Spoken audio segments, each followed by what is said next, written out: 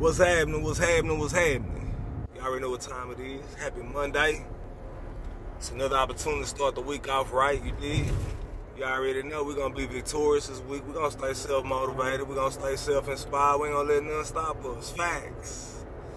Big facts.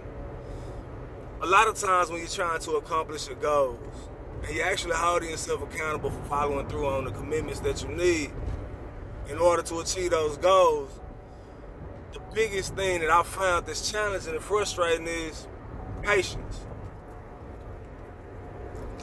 Patience, patience, patience, patience, patience.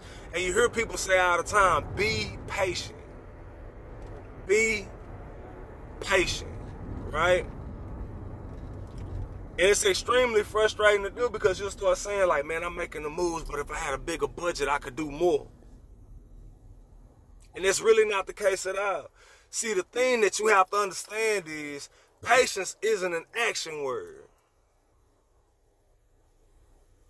It's not something that you can put on or take off or do or you dig what I'm saying? It's, it's not it's not really more so an actionable item that you can do physically. It's really a mindset. Facts.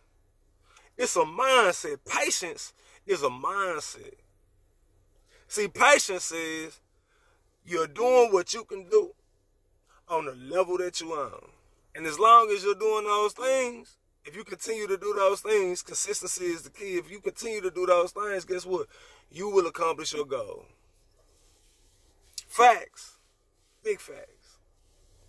So in order to start practicing patience, which is a mindset, you got to start being grateful for what you're doing on the level that you're doing it on. Facts.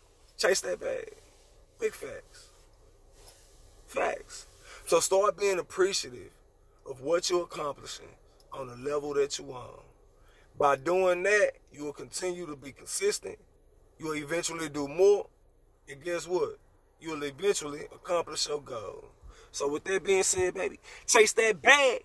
Bow!